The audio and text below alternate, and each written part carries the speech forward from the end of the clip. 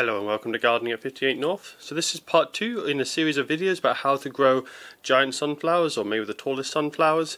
So in this video I'll be looking more at the seeds, how to sow the seeds and how to look after the seedlings when you have a young plant. Now the previous video was all about the, getting the right variety, so you really need to get the right variety of plant for getting a giant sunflower. And the next video after this will be about aspect and where to plant it in the garden. So when it comes to planting sunflower seeds, the timing is very important. You really need to time it around about March time for most climates. Now the reason timing is so important is if you're too late, for a start you're not going to have a long enough growing season and if you want to grow a really tall sunflower you need to grow a variety that flowers as late as possible so it can spend as long as possible growing because as soon as it flowers it stops getting any more height. So you need a very long growing season to get the tallest sunflower and if you start it too late the growing season will be too short and you'll basically the frost will come and kill the sunflower before that. But another reason is when it comes to light levels, the best light levels are May, June, July. That's when you have the longest days and the most intense sunlight. If you start your plant around about May time, you'll have a very small seedling although it will be growing in the sunniest part of the, the year, it will just have a few leaves. So th use this plant for example. You can see here, total leaf space is quite small, so there's only a limited amount of sunlight that it can absorb. But if this plant was much bigger and, an older plant and had massive leaves that could absorb lots of sunlight, then it could really turbocharge its growth and grow even faster. So what you want to do is you want to have an established sunflower by around about May time so that it can have lots of leaf coverage and make the most of that strong sunshine. If it has lots of leaves at that time of year, it's really going to grow really fast. But if it's just a small plant and you can only get a small amount of light at that time of year when the, the light's at its best, it's, you're really going to get set back. So you want to make the most of that growing time. Although August and September are also quite good growing months, the sun gets a lot weaker, and by September the sun is actually it's just as weak as it is in March. So you want to really make sure that you get the beginning of the season because that's when the best growing months are in most climates. So although you want to start the plants early to make sure you get the whole growing season, there is a risk if you start them too early you can have other problems which is why March is around about the best time for most places. So if you start them too early there is the risk of frost or if you're growing them inside you're going to have to have grow lights and other things to keep them growing in the months when the sun isn't at its best. So you don't want to start them too early for that reason. And there is another reason why you don't want to start them too early, and that's to do with the daylight length. Now, sunflowers, they don't really mind how many hours of daylight they get per day. It doesn't change when they flower normally. There are several plants where they use the daylight length to determine when they should flower. Sunflowers don't do that for most of their lives, but in the first three weeks of their life, there's quite an important stage. So, in the first three weeks of the sunflower's life, if it is exposed to less than 14 hours of light per day, it will basically trigger it to flower a lot earlier. Whereas if it gets more than 14 hours of light per day, it will delay its flowering by several weeks and you'll get a much taller plant. So it's very important that if you do sow it before the spring equinox and it gets less than 14 hours of light a day, you might actually get it flowering earlier and you'll end up with a shorter plant. So if you do sow it before that date, you'll probably need grow lights just to trick it into thinking it's longer daylight hours. So I'm now going to go ahead and explain sowing the seeds and how to start off your sunflowers. So when it comes to the seeds, you want to try and get the biggest one that you have in your packet. Now refer to my previous video when it comes to variety choice because it is important to get the right variety. So when it comes to sowing the seeds, having a good healthy seed will make a big difference in your plant in the long term. The reason being if you start with a small weak seedling, it will take a long time to get going. It will have very small leaves when it begins its life. And the more leaves it has and the bigger the leaves the faster it can photosynthesize and get energy from the sun. So if you start off with a small seedling you're just going to it's going to take a little bit longer for your plant to get established. So if possible if you're looking at your seeds always pick the largest one. So this one for example is quite skinny. It's a little bit shriveled up.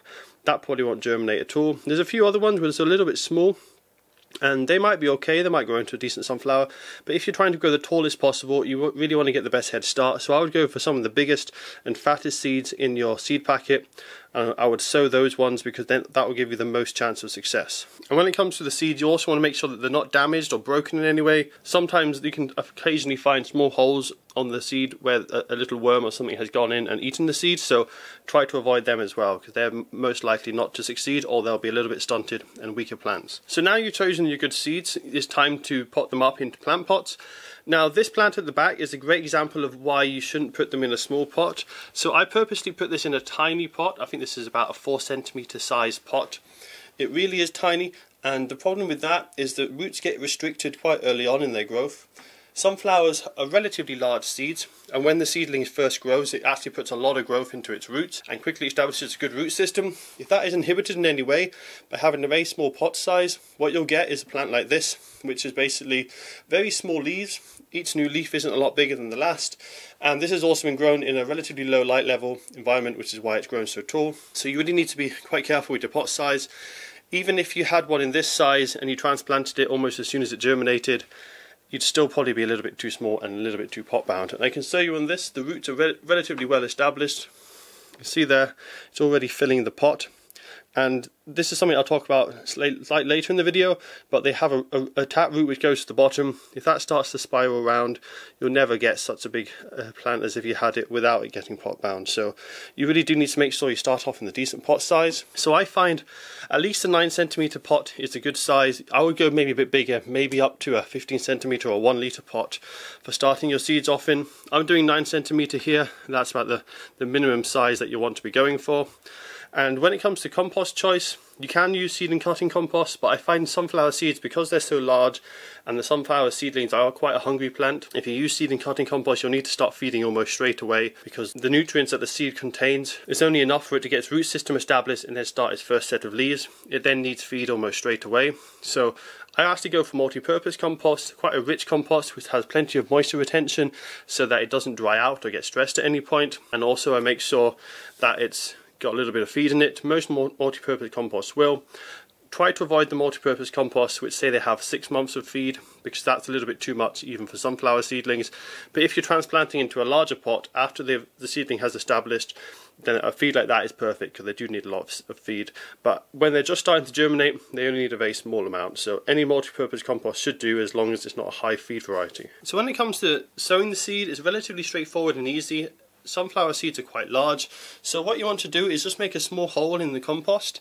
Now it doesn't need to be too deep probably about an inch in depth or so.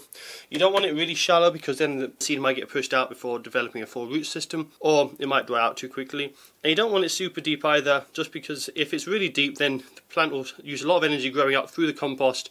By the time it reaches the surface it won't have a huge amount of energy left for its first set of leaves. So about two or three centimeters or an inch depth is about right. If you've got a variety with really large seeds, you could almost go to two inches of depth. If you've got a variety with really small seeds, then maybe just half an inch. It does depend on the variety. There's different sizes of seeds. So I'm just going to go ahead and plant this in here, but it's also quite important to know which way up the seeds go. So with this variety, it's a bit less obvious than some of the others, and I'll get another variety of uh, sunflower just to show you. So there's two varieties here, and they're both quite tall sunflowers. Basically, what you want to do is plant them so the pointy end is pointing down to the soil. Now you can either do this by making a hole in the compost, or if you want, you can just push it through because the pointy end of the seed will easily push through the soil. And what happens is the root comes out at the very bottom of the uh, pointy section and then the whole seed will lift up and the seed itself will actually become the leaves of the new plant and then the first set of leaves will then grow soon after. So you want to make sure the pointy end is down to the ground so this way you can see with both of these the pointy end is pointing down that's the direction they need to be in the soil and so they need to be in a vertical position just like that. Don't worry too much if they land their side or they go upside down, the plant will still survive. It might just take them a little bit longer to come up to the surface, but ideally, if you can, have it pointing down, it will just come out the soil a little bit faster and with a bit more energy. So now that you've sown your sunflower seeds, it's time to encourage them into germination. Make sure the compost is nice and damp, but make sure it's not soaking wet or sodden with water. So if you have any holes in the bottom of the pot, you should make sure that they're free draining and the water can drain out the bottom of the holes. If it's sitting in a saucer with water underneath, the compost will be getting too wet and there's a risk that your seeds might rot. So you want damp compost but not soaking wet compost and you want to make sure you never want to let it dry out. If it dries out there's a risk that the seed can die and it won't succeed. So you want to keep it nice and damp the whole time. You also want to keep it around 25 degrees Celsius. That's the optimum temperature for germination. It will germinate at higher temperatures and lower temperatures, but that's the kind of temperature you want to keep it at so that it will germinate at its fastest. Now it doesn't matter as I say, it doesn't have to be 100% 25 degrees all the time, just a sunny windowsill will do, but if you want the perfect results, 25 degrees Celsius is the best to go for. Now you should see germination in about 1 to 3 weeks, it really depends on the temperature. If you've got it on a warm location, you can be as little as a week or even 3 or 4 days, I've had it in past, it germinate. But that's about the time frame. If nothing comes up after a month, it's either too cold, too dry, or if the seeds are not a good seed and it's died off. So that's something to bear in mind. If nothing's come up in about a month, you'll probably need to sow some more seeds. So it's always always important to grow several of them at a time, and then you make sure you don't miss the season. Because if you just plant one or two and they didn't come up after a month, you'd be delayed by a month in the season, and then you've lost a lot of growing time. So make sure you sow several seeds and also as each seed has slightly different genetic characteristics, some will be stronger than others, you want to grow a whole load of seeds and then pick the absolute best seedling to be the one that grows in the best position to grow a giant sunflower. So once your sunflower has germinated, you should have a small plant. Originally, the, the first two leaves will come up, will look these are actually the ones at the back. These are actually from the actual seed themselves. The seed itself flattens out and becomes the seed leaves. And then above that you will get the first true leaves. And then each leaf should get larger and larger if the plant is growing well and you get a nice well established plant. As I said, this isn't a good example because I've purposely put it in a, in a small pot to give an example of a restricted plant. But it should quite rapidly grow. So you want to make sure it's got really good light levels, a really warm south-facing windowsill would be ideal. If you're living in the tropics, do avoid the midday sun if it's on the windowsill, but most places in the world, a really sunny location will do well. If you notice it's getting dried out a bit too quickly, or the leaves are going yellow, and you, you might not have good airflow on your windowsill, then move it outside to a location that's nice and warm with uh, better airflow. Basically you want it around 25 degrees Celsius for optimum growing conditions. Anywhere between 20 and 30 should be fine, but if you're finding it's getting too hot in the sun, move it to a slightly cooler location. And you want to keep it damp at all times, similar to when it was germinating. If it dries out, it's going to get stressed. And the key thing to giant sunflowers is reducing stress. If a sunflower gets stressed, either with lack of water, wrong temperature, wrong light levels, or not enough fertilizer, it will then start to flower and it will flower too early and you won't get a really tall plant. So it's one of the most important things with growing giant sunflowers is making sure that they're really happy and they're not stressed for the whole growing period. So as I say, a nice warm sunny location around 20 to 30 degrees should be fine and if it's in a small pot like this probably only uh, a, few weeks less than a month maybe of growing time and then you want to be putting it outside in the garden or in the final growing location. If it's still too cold where you are if you live somewhere where you get frosts right into June then you probably want to put them in a larger pot and grow them a little bit longer inside before they go outside. They can take very slight frost, so slightly below freezing shouldn't be a problem for, for sunflower seedlings. They can take a little bit colder temperatures than a mature plant. But if the temperatures are too cold that they're not going to be growing much, so if temperatures are below probably 12 degrees Celsius during the day, you're going to get very slow growth. So in countries in the world where you have quite a cold spring, you might want to just grow them inside for a bit longer to get them established before you place them outside. And as they're growing as a seedling, if you've got multi-purpose compost, and they're not getting pot bound, you shouldn't need to worry about feeding them. But if you have used seed and cutting compost, I would use um, a balanced feed for now just to get them established until they're ready to go out into the garden. So there's a few advantages and disadvantages with starting them inside compared with starting them out in the garden. One of the main one is the taproot. So when sunflowers first grow, they grow a very long taproot straight down, and the taproot is normally longer than the actual growth of the plant. So you can see this one at the back, for example. The pot is tiny, the taproot is going to be much shorter than the, the complete height of this plant. So that's not at all what it would like naturally in the wild, which is why this is getting stunted. If you can sow directly into your garden, you're going to get much better results in the long run because your plant is going to grow much bigger. It's going to have its taproot go right down to as deep as it wants to, which can be up to three meters deep at times, and you're going to get a much better established plant. But there's a lot of disadvantages with starting outside. One of the major one is the, the, climate and the environment. You can't control exactly the growing conditions. You might get a frost, it might be very windy, and you might not have the right light levels. So growing them inside can really help with grow lights and, and warm temperatures. And then the other problem with growing them outside, one of the huge ones here in the UK or any other kind of climate where it's quite damp, is slugs and snails. They absolutely love sunflowers, and if they see a small seedling, they can easily devastate it and eat it in one night. So you need to be really careful with slugs and snails. Make sure that you have some kind of protection against them, either using whatever methods work best for you. There's lots of different ways of avoiding slugs and snails, but that's one of the biggest problems with sunflowers. And there's a few other pests you got to watch out for, especially if they're outside. One of them is aphids. Aphids can be a big problem. If you see them, washing them off with, with some water is normally one of the best methods. Uh, I tend to avoid pesticides. Um, and cutworm can also be a problem, or vine weevil. So you just want to watch out for them. They're, they're some of the ones that can be a big problem at the beginning of the plant's life when it has a small root system and any kind of attack will severely damage it. So I'm now going to go outside and show you how you would plant it if you were going to plant the seed outside and also how you would transplant your young plant if you'd grown it inside first and then you're ready to be transplanted into the, its final growing position. So I'm now going to show how you would sow the plants outside if you're going to sow them straight in the soil. Now you want to do the same thing, make sure you got the decent seeds, the right variety. And when it comes to aspect and soil preparation, you want to basically get the best, richest soil you can in the sunniest location possible. Now I'll put more information about that in my next video. The next video is basically looking at soil preparation and growing location, so I won't get, talk about that much now.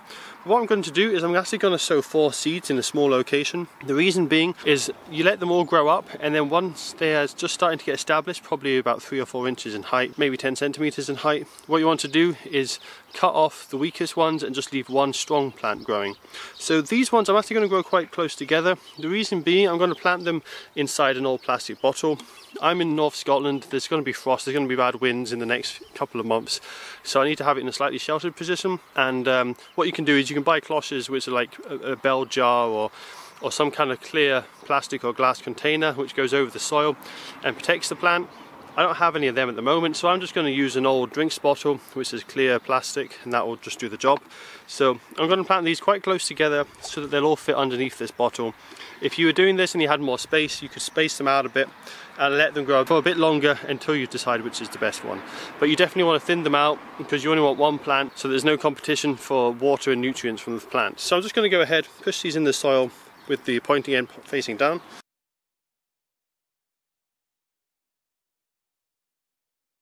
And then I'm just going to cover them with a plastic water bottle. I'm just going to slowly rotate this and get this a few centimeters deep so that it's secured.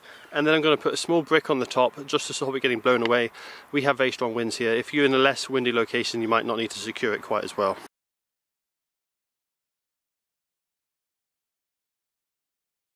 Now it's the same as looking after your seed inside, you want to make sure it's well watered, so before doing this, make sure that the soil has been well watered.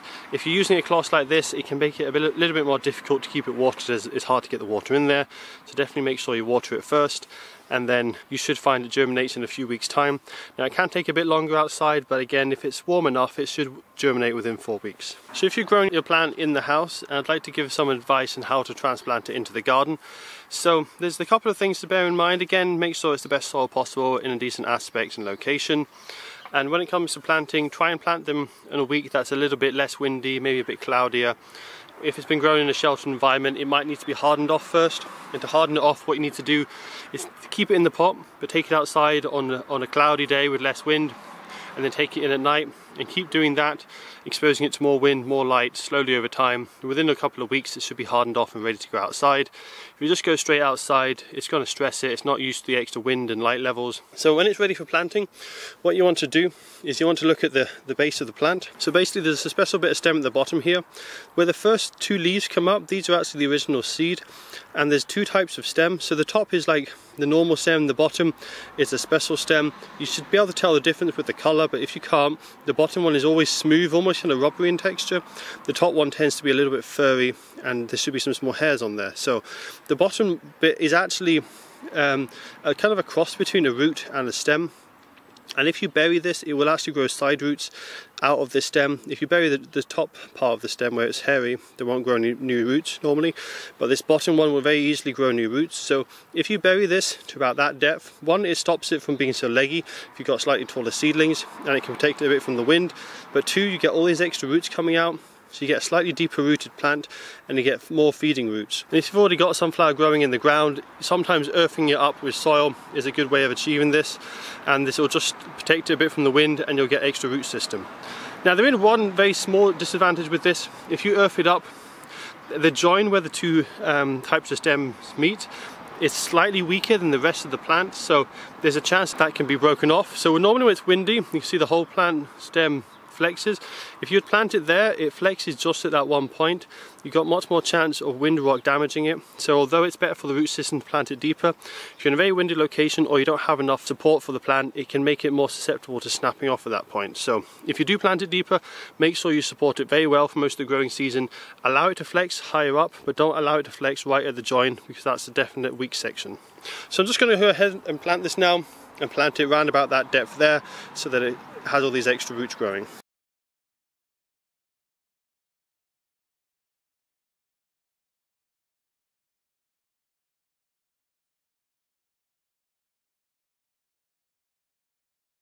So that's that small plant now planted. Now it's quite often a good idea to mulch the soil. This just stops any weeds coming up and the weeds will compete for water and nutrients so you want to make sure there's no weeds around the roots of your sunflower plant. You also want to make sure it's well watered at this stage and you need to keep it very well watered for the first few weeks until the roots get established. But even going forward, you'll want to be keeping it free from drought stress so it still needs good watering for the rest of the season, but it's most important at the transplant stage. And one other thing you can do at this stage is if it's very tall and leggy like this one here is going to get damaged by the wind, you can put in a small stake just to the side of it. Just remember where the planting hole was so you don't go through the roots and just tie it up and make sure it's got a little bit of support. But I tend to avoid uh, supporting the plants at the very young stage, they're not as leggy as this because it just helps to strengthen the stem slightly and they'll be less susceptible to wind damage later on in the season. But if you want the absolute tallest sunflower possible, you, you actually want to keep it staked.